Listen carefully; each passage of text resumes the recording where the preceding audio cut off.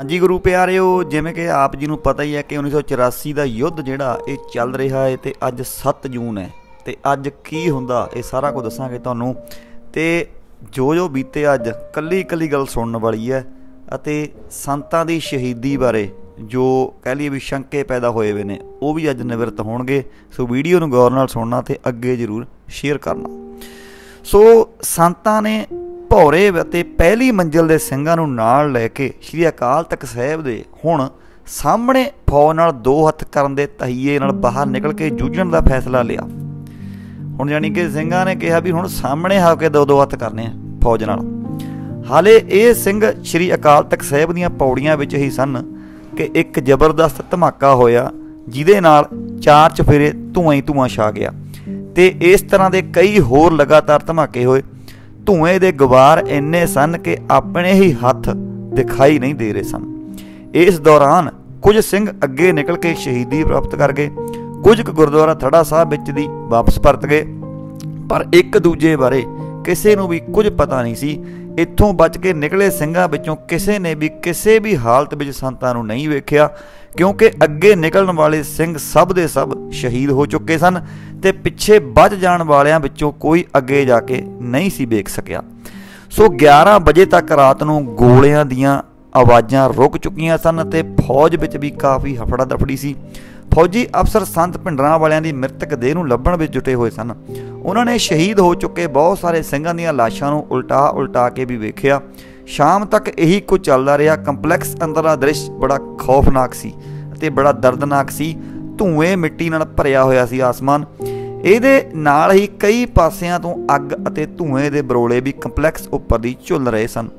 ਕੁਲਦੀਪ ਬਰਾੜ ਸਮੇਤ ਫੌਜੀ ਅਫਸਰਾਂ ਨੇ ਸੋਚਿਆ ਕਿ ਸ਼ਾਇਦ ਸੰਤ ਭਿੰਡਰਾਂ ਵਾਲੇ ਹਰਮੰਦਰ ਸਾਹਿਬ ਅੰਦਰ ਨਾ ਚਲੇ ਗਏ ਹੋਣ। ਇਸ ਲਈ ਉਹਨਾਂ ਨੇ ਹਰਮੰਦਰ ਸਾਹਿਬ ਦੀ ਚੁੱਪ ਚਪੀਤੇ ਹੀ ਆਪਣੇ ਢੰਗ ਨਾਲ ਤਲਾਸ਼ੀ ਲੈਣ ਦੀ ਜੁਗਤ ਬਣਾਈ ਅਤੇ ਅਨਾਉਂਸਮੈਂਟ ਕੀਤੀ ਕਿ ਜੰਗ ਖਤਮ ਹੋ ਚੁੱਕੀ ਹੈ, ਪੂਰੇ ਕੰਪਲੈਕਸ ਉੱਪਰ ਫੌਜ ਦਾ ਕਬਜ਼ਾ ਹੈ। ਇਸ ਲਈ ਜਿੱਥੇ ਵੀ ਕੋਈ ਵਿਅਕਤੀ ਛੁਪਿਆ ਹੋਇਆ ਹੈ ਜਾਂ ਸ੍ਰੀ ਹਰਮੰਦਰ ਸਾਹਿਬ ਅੰਦਰ ਮੌਜੂਦ ਹੈ, ਇਹ ਉਹ 15 ਮਿੰਟਾਂ ਦੇ ਵਿੱਚ ਵਿੱਚ ਹੱਥ ਖੜੇ ਕਰਕੇ ਬਾਹਰ ਆ ਜਾਵੇ। ਤਾਂ ਉਸ ਉੱਪਰ ਕੋਈ ਗੋਲੀ ਨਹੀਂ ਚਲਾਈ ਜਾਵੇਗੀ। ਜਦ ਇਹ ਅਨਾਉਂਸਮੈਂਟ ਹਰਮੰਦਰ ਸਾਹਿਬ ਅੰਦਰ ਸੁਣਾਈ ਦਿੱਤੀ, ਤਾਂ ਸਿੰਘ ਸਾਹਿਬਾਨ ਗਿਆਨੀ ਮੋਹਨ ਸਿੰਘ ਤੇ ਗਿਆਨੀ ਪੂਰਨ ਸਿੰਘ ਜੀ ਇੱਥੇ ਮੌਜੂਦ ਸਿੰਘਾਂ ਨੂੰ ਬਾਹਰ ਜਾਣ ਲਈ ਕਿਹਾ, ਤਾਂ ਉਹਨਾਂ ਸਿੰਘਾਂ ਨੇ ਸਿੰਘ ਸਾਹਿਬਾਨਾਂ ਨੂੰ ਵੀ ਨਾਲ ਚੱਲਣ ਲਈ ਬੇਨਤੀ ਕੀਤੀ, ਪਰ ਸਿੰਘ ਸਾਹਿਬਾਨਾਂ ਨੇ ਸਪਸ਼ਟ ਜਵਾਬ ਦੇ ਦਿੱਤਾ ਕਿ ਅਸੀਂ ਹੱਥ ਖੜੇ ਕਰਕੇ ਬਾਹਰ ਨਹੀਂ ਜਾਵਾਂਗੇ। ਇਸ ਲਈ ਤੁਸੀਂ ਜਾਓ ਅਤੇ ਫੌਜੀ ਅਫਸਰਾਂ ਨੂੰ ਦੱਸ ਦੇਵੋ ਕਿ ਦੋ ਸਿੰਘ ਸਾਹਿਬਾਨ ਅੰਦਰ ਨੇ ਅਤੇ ਉਹ ਹੱਥ ਖੜੇ ਕਰਕੇ ਬਾਹਰ ਨਹੀਂ ਆਉਣਗੇ।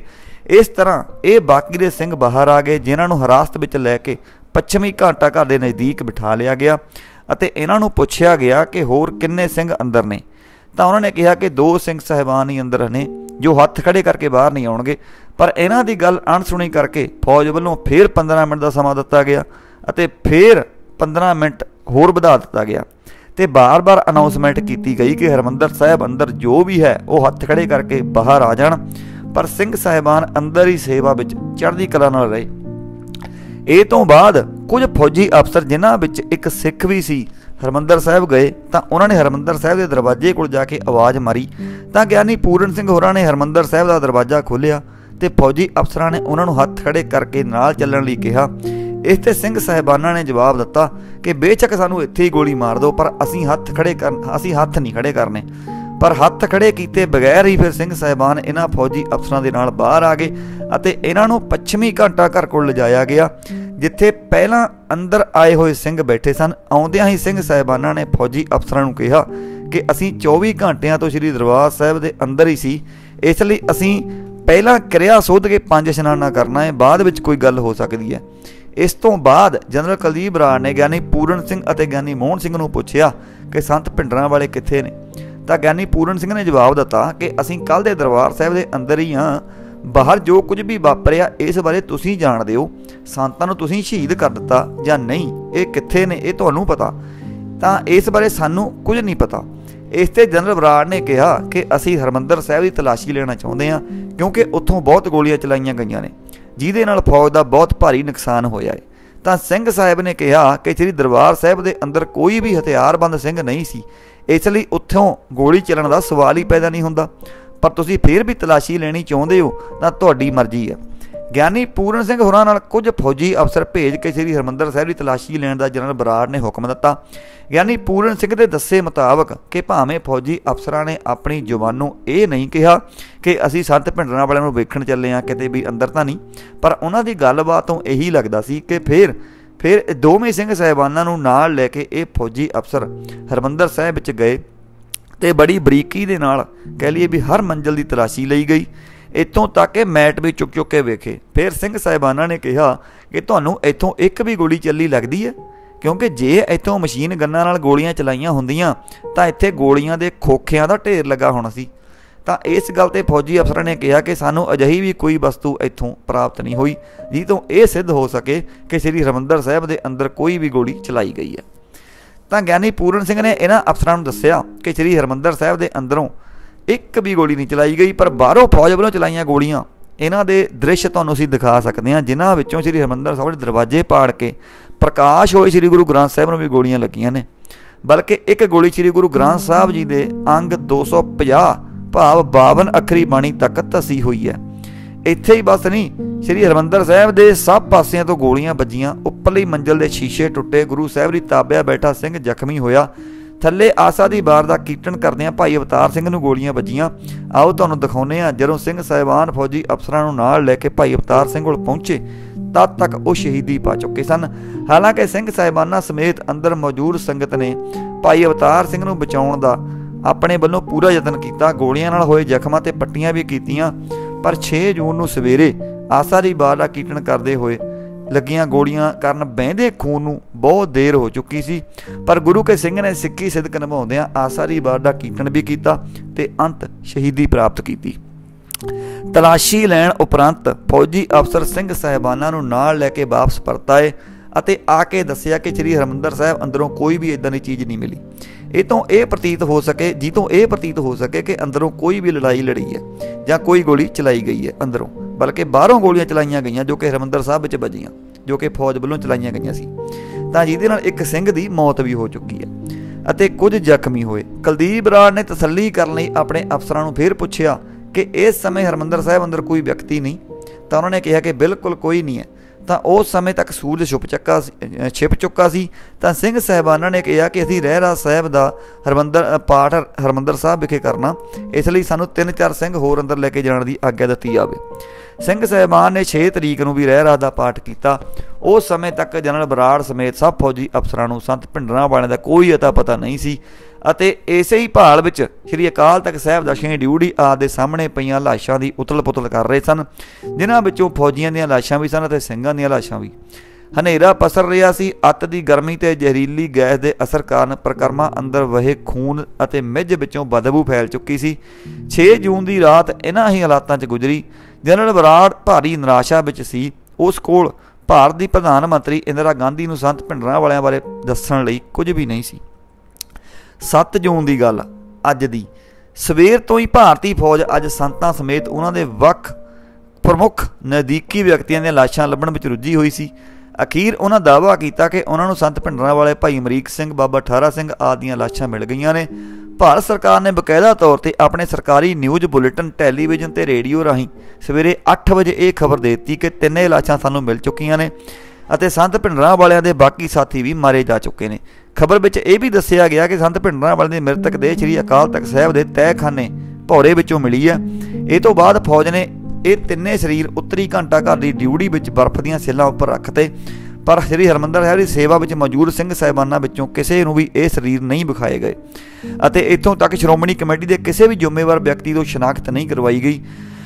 ਹਾਲਾਂਕਿ ਪ੍ਰਧਾਨ ਸ਼੍ਰੋਮਣੀ ਕਮੇਟੀ ਸਮੇਤ ਬਹੁਤ ਸਾਰੇ ਅਹੁਦੇਦਾਰ ਫੌਜ ਦੀ ਹਿਰਾਸਤ ਵਿੱਚ ਸਨ। ਇਸ ਤੋਂ ਇਲਾਵਾ ਦਮਦਮੀ ਟਕਸਾਲ ਦਾ ਮੁੱਖ ਸਥਾਨ ਗੁਰਦੁਆਰਾ ਗੁਰਦਰਸ਼ਨ ਪ੍ਰਕਾਸ਼ ਮਹਿਤਾ ਵੀ ਫੌਜ ਦੇ ਘੇਰੇ ਵਿੱਚ ਸੀ ਅਤੇ ਉੱਥੋਂ ਵੀ ਕਿਸੇ ਜ਼ਿੰਮੇਵਾਰ ਸਿੰਘ ਨੂੰ ਲਿਆ ਕੇ ਇਹ ਸਰੀਰ ਨਹੀਂ ਵਿਖਾਏ ਗਏ। ਐਵੇਂ ਹੀ ਸੱਤ ਪਿੰਡਰਾਂ ਵਾਲਿਆਂ ਦਾ ਘਰ ਪਿੰਡ ਰੋਡੇ ਜ਼ਿਲ੍ਹਾ ਮੋਗੇ ਵੀ ਫੌਜ ਦੇ ਘਰ, ਫੌਜ ਦੇ ਘੇਰੇ ਵਿੱਚ ਸੀ। ਪਰ ਕਿਸੇ ਵੀ ਪਰਿਵਾਰਕ ਮੈਂਬਰ ਦੀ ਤਫਤੀਸ਼ ਤੋਂ ਬਿਨਾਂ ਹੀ ਫੌਜ ਤੇ ਭਾਰਤ ਸਰਕਾਰ ਸੰਤ ਮਿੰਟਰਾ ਵਾਲੇ ਦੀ ਮ੍ਰਿਤਕ ਸੰਤ ਪਿੰਡਰਾਂ ਵਾਲੇ ਮ੍ਰਿਤਕ ਐਲਾਨ ਚੁੱਕੀ ਸੀ।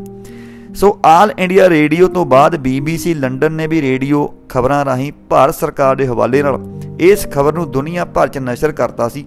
ਦੂਜੇ ਪਾਸੇ ਫੌਜ ਨੇ ਆਪਣੇ ਮ੍ਰਿਤਕ ਫੌਜੀਆਂ ਦੀਆਂ ਲਾਸ਼ਾਂ ਚੁੱਕ ਚੁੱਕ ਕੇ ਫੌਜ ਵੱਲੋਂ ਬਣਾਏ ਗਏ ਵਿਸ਼ੇਸ਼ ਕੈਂਪ 'ਚ ਭੇਜਣੇ ਸ਼ੁਰੂ ਕੀਤੀਆਂ ਤੇ ਨਾਲ-ਨਾਲ ਯੁੱਧ ਲੜਨ ਵਾਲੇ ਸਿੰਘਾਂ ਦੀਆਂ ਲਾਸ਼ਾਂ ਅਤੇ ਆਮ ਸ਼ਰਧਾਲੂਆਂ ਦੀਆਂ ਲਾਸ਼ਾਂ, ਰੈੱਡ ਕਰਾਸ ਦੇ ਮੁਲਾਜ਼ਮਾਂ, ਜਮਾਦਾਰਾਂ ਤੇ ਕਿਰਾਏਦਾਰ ਵਿਅਕਤੀਆਂ ਨੂੰ ਅਜਿਹੇ ਲਾਲਚ ਦੇ ਕੇ ਚੁਕਵਾਈਆਂ ਕਿ ਇਹਨਾਂ ਮ੍ਰਿਤਕ ਦੇਹਾਂ ਤੇ ਜੋ ਘੜੀਆਂ, ਗਹਿਣਾ ਤੇ ਨਕਦੀ ਆਦ ਪ੍ਰਾਪਤ ਹੋਵੇ, ਉਹ ਤੁਹਾਡੀ ਹੋਵੇਗੀ।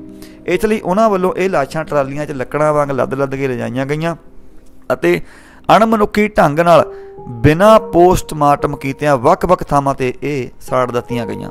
ਜਿਹਦੇ ਨਾਲ ਹੀ ਸਰੋਵਰ ਦੀ ਪ੍ਰਕਰਮਾ ਜੋ ਖੂਨ ਨਾਲ ਲੱਤਪੱਤ ਹੋ ਚੁੱਕੀ ਸੀ, ਉਹਦੀ ਸਫ਼ਾਈ ਦਾ ਕੰਮ ਵੀ ਫੌਜ ਅਤੇ ਕੁਝ ਹੋਰ ਸਫ਼ਾਈ ਮੁਲਾਜ਼ਮਾਂ ਦੀ ਮਦਦ ਨਾਲ ਕੀਤਾ ਗਿਆ ਅਤੇ ਸਰੋਵਰ ਵਿੱਚ ਤੈਰਦੀਆਂ ਲਾਸ਼ਾਂ ਨੂੰ ਵੀ ਬਾਹਰ ਕੱਢਿਆ ਗਿਆ। ਇਹ ਸਭ ਕੰਮ ਇੰਨੀ ਜਲਦਬਾਜ਼ੀ ਵਿੱਚ ਕੀਤੇ ਗਏ ਕਿ ਸਫ਼ਾਈ ਕਰਨ ਦੇ ਬਾਵਜੂਦ ਵੀ ਪ੍ਰਕਰਮਾ 'ਚ ਖੂਨ ਦੇ ਧੱਬਿਆਂ ਦੇ ਨਿਸ਼ਾਨ ਉਸੇ ਤਰ੍ਹਾਂ ਨਜ਼ਰ ਆ ਰਹੇ ਸਨ ਅਤੇ ਕੁਝ ਥਾਵਾਂ ਤੇ ਖੂਨ ਵਹਿ ਰਿਹਾ ਸੀ। ਜਨਰਲ ਬਰਾੜ ਆਪਣੀ ਕਿਤਾਬ 'ਚ ਲਿਖਦਾ ਕਿ ਸੰਤ ਭਿੰਡਰਾਂ ਵਾਲੇ ਦੇ ਮ੍ਰਿਤਕ ਦੇ, ਮ੍ਰਿਤਕ ਦੇਹ ਦੀ ਸ਼ਨਾਖਤ ਪੰਜਾਬ ਪੁਲਿਸ ਸੀਆਈਡੀ ਕੁਝ ਹੋਰ ਸਰਕਾਰੀ ਅਧਿਕਾਰੀਆਂ ਤੋਂ ਇਲਾਵਾ ਸੰਤਾਂ ਦੇ ਭਰਾ ਕੈਪਟਨ ਹਰਚਰਨ ਸਿੰਘ ਰੋਡੇ ਨੇ ਵੀ ਕੀਤੀ ਸੀ। ਤਾਂ ਜਨਰਲ ਬਰਾੜ ਦੀ ਇਹ ਗੱਲ ਬਿਲਕੁਲ ਹੀ ਆਧਾਰਹੀਣ ਹੈ, ਜਿਹਦਾ ਖੁਲਾਸਾ ਖੁਦ ਕੈਪਟਨ ਹਰਚਾਰ ਹਰਚਰਨ ਸਿੰਘ ਰੋਡੇ ਨੇ ਕੀਤਾ। ਉਹ ਲਿਖਦੇ ਉਹ ਕਹਿੰਦੇ ਆ ਕੈਪਟਨ ਹਰਚਰਨ ਸਿੰਘ ਰੋਡੇ ਦੇ ਦੱਸਣ ਮੁਤਾਬਕ ਕਿ ਉਸ ਸਮੇਂ ਉਹ ਜਲੰਧਰ ਵਿੱਚ 61 ਇੰਜੀਨੀਅਰ ਰੈਜੀਮੈਂਟ ਵਿੱਚ ਸੂਬੇਦਾਰ ਮੇਜਰ ਸੀ। ਸਵੇਰੇ 7 7 ਜੂਨ 1984 ਨੂੰ, ਯਾਨੀ ਕਿ ਅੱਜ ਦੇ ਦਿਨ ਸਵੇਰੇ, ਆਪਣੇ ਕੁਆਟਰ ਤੋਂ ਦਫ਼ਤਰ ਜਾਣ ਲਈ ਤਿਆਰ ਹੋ ਰਿਹਾ ਸੀ। ਤਾਂ 8 ਵਜੇ ਦੀ ਰੇਡੀਓ ਨਿਊਜ਼ ਵਿੱਚ ਦੱਸਿਆ ਗਿਆ ਕਿ ਸੰਤ ਭਿੰਡਰਾਂ ਵਾਲਿਆਂ ਦਾ ਸ਼ਬ ਮਿਲ ਗਿਆ ਏ। ਇਹ ਖਬਰ ਸੁਣ ਕੇ ਉਹ ਕਹਿੰਦਾ ਕਿ ਮੈਂ ਬਹੁਤ ਪਰੇਸ਼ਾਨ ਤੇ ਜਜ਼ਬਾਤੀ ਹੋ ਗਿਆ। ਮੈਂ ਤੁਰੰਤ ਹੀ ਦਫ਼ਤਰ ਗਿਆ ਤੇ regiment commander colonel A K Sarhatti ਨੂੰ ਮਿਲਿਆ। ਉਹ ਵੀ ਇਹ ਖਬਰ ਸੁਣ ਚੁੱਕਾ ਸੀ। ਉਹਨੇ ਕਿਹਾ ਕਿ ਅੰਮ੍ਰਿਤਸਰ ਵਿਖੇ ਤੁਹਾਡਾ ਭਰਾ ਮਾਰਿਆ ਜਾ ਚੁੱਕਾ। ਮੈਂ ਉਸ ਨੂੰ ਕਿਹਾ ਕਿ ਮੈਂ ਇਸੇ ਵਕਤ ਸ੍ਰੀ ਅੰਮ੍ਰਿਤਸਰ ਜਾਣਾ ਚਾਹੁੰਦਾ, ਕਿਉਂਕਿ ਮੇਰੇ ਭਰਾ, ਭਤੀਜੇ ਤੇ ਹੋਰ ਕਾਫੀ ਪਰਿਵਾਰਕ ਮੈਂਬਰ ਉੱਤੇ ਸ਼ਹੀਦ ਹੋਏ ਨੇ। ਤਾਂ ਕਰਨਲ ਸਰਹੱਟੀ ਨੇ ਕਿਹਾ ਕਿ ਇਸ ਸੰਬੰਧ ਵਿੱਚ ਕੋਰ ਕਮਾਂਡਰ ਤੋਂ ਪੁੱਛਣਾ ਪਵੇਗਾ। ਸ਼ਾਇਦ ਉਹ ਆਗਿਆ ਨਹੀਂ ਦੇਵੇਗਾ।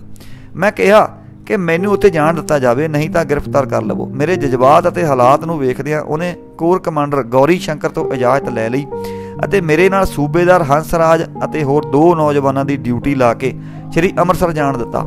ਉੱਥੇ ਚਾਰ ਚਫੇਰੇ ਸਨਾਟਾ ਛਾਇਆ ਹੋਇਆ ਸੀ ਅਤੇ ਪੂਰੀ ਤਰ੍ਹਾਂ ਸੁੰਨ ਬਿਰਾਨ ਪਸਰੀ ਹੋਈ ਸੀ। ਉਹ ਕਹਿੰਦੇ ਕਿ ਅਸੀਂ ਸ਼ਾਮ 3 ਵਜੇ ਪੂਰਬੀ ਘੰਟਾ ਘਰ ਵਿਖੇ ਪਹੁੰਚੇ। ਥੋੜਾ ਅੱਗੇ ਵੱਧ ਕੇ ਵੇਖਿਆ ਕਿ ਸ੍ਰੀ ਦਰਬਾਰ ਸਾਹਿਬ ਦੇ ਚਾਰ ਚਫੇਰੇ ਅੰਦਰਲੇ ਕਮਰਿਆਂ ਤੇ ਨੇੜੇ ਦੀਆਂ ਬਿਲਡਿੰਗਾਂ ਵਿੱਚੋਂ ਧੂਆਂ ਨਿਕਲ ਰਿਹਾ ਸੀ ਤੇ ਅੱਗ ਦੀਆਂ ਲਾਈਟਾਂ ਨਿਕਲ ਰਹੀਆਂ ਸਨ ਤੇ ਸਿੱਖ ਰੈਫਰੈਂਸ ਲਾਇਬ੍ਰੇਰੀ ਵੀ ਅੱਗ ਦੀਆਂ ਲਾਪਟਾਂ ਵਿੱਚ ਸੀ। ਤਾਂ ਸਰੋਵਰ ਵਿੱਚ ਲਾਸ਼ਾਂ ਤੈਰ ਰਹੀਆਂ ਸਨ ਅਤੇ ਪ੍ਰਕਰਮਾਂ ਦੇ ਕਮਰਿਆਂ ਵਿੱਚੋਂ ਲਾਸ਼ਾਂ ਚੁੱਕੀਆਂ ਜਾ ਰਹੀਆਂ ਸਨ। ਕੋਈ ਥਾਵਾਂ ਤੇ ਖੂਨ ਅਤੇ ਮਿੱਝ ਦੀਆਂ ਘਰਾਲਾਂ ਵਗੀਆਂ ਪਈਆਂ ਸਨ। ਮੇਰਾ ਵਜੂਦ ਪੂਰੀ ਤਰ੍ਹਾਂ ਦਹਿਲ ਗਿਆ ਤੇ ਦਿਮਾਗ ਚਕਰਾ ਗਿਆ। ਪਰ ਇਸੇ ਹਾਲਾਤ ਵਿੱਚ ਘੰਟਾ ਘਰ ਵਾਲੀ ਫਰਸ਼ ਤੋਂ ਹੀ ਦਰਬਾਰ ਸਾਹਿਬ ਨੂੰ ਮੱਥਾ ਟੇਕਿਆ ਤੇ ਵੇਖਿਆ ਕਿ ਘੰਟਾ ਘਰ ਡਿਊਟੀ ਵਿੱਚ ਸੱਜੇ ਪਾਸੇ ਤਿੰਨ ਸ਼ਰੀਰ ਬਰਫ਼ ਉੱਪਰ ਪਏ ਸਨ। ਸੋ ਉਹ ਕਹਿੰਦੇ ਕਿ ਮੇਰੇ ਮਨ ਵਿੱਚ ਕਿਸੇ ਕਿਸਮ ਦੀ ਸ਼ੰਕਾ ਨਹੀਂ ਸੀ ਕਿਉਂਕਿ ਸਵੇਰੇ 8 ਵਜੇ ਖਬਰ ਸੁਣਨ ਤੋਂ ਬਾਅਦ ਮੈਂ ਜਲੰਧਰ ਤੋਂ ਚੱਲ ਪਿਆ ਸੀ ਕਿ ਸੰਤਾਂ ਦੀ ਮ੍ਰਿਤਕ ਦੇ ਮਿਲ ਚੁੱਕੀ ਹੈ। ਫਿਰ ਮੈਂ ਤੇ ਸੂਬੇਦਾਰ ਹੰਸਰਾਜ ਇਹਨਾਂ ਰੱਖੀਆਂ ਹੋਈਆਂ ਲਾਸ਼ਾਂ ਕੋਲ ਪਹੁੰਚੇ ਜੋ ਫੌਜ ਵੱਲੋਂ ਪਹਿਲਾਂ ਹੀ ਐਲਾਨੀਆਂ ਜਾ ਚੁੱਕੀਆਂ ਸਨ।